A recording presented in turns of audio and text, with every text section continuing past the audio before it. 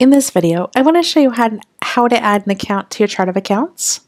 When I look at my chart of accounts, I recognize that I forgot to add my credit card. Maybe I have a new credit card for my business. To add a new account to my chart of accounts, I would click on New in the upper right hand corner, and then I would identify what am I adding. So in my example, I want to add a credit card. So I'm going to change the account type from bank to credit card.